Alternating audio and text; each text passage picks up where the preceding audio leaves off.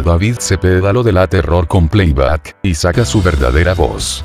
David Cepeda ha picado piedra en el mundo de la música, apoyado de su atractivo. En visita en el programa hoy, cometió un grave error al hacer playback, pues solo hizo más fuertes las afirmaciones, de que no canta. Al finalizar, la primera temporada de La Doble Vida de Estela Carrillo, David Cepeda tomó el escenario para cantar en dicho matutino. Sin embargo, el actor nunca imaginó que la producción le haría la maldad, por error al exponer su verdadera voz, pues les falló el playback.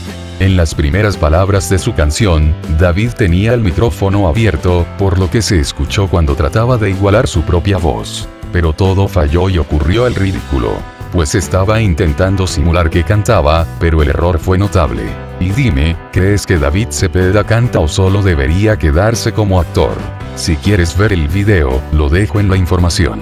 Suscríbete para más videos.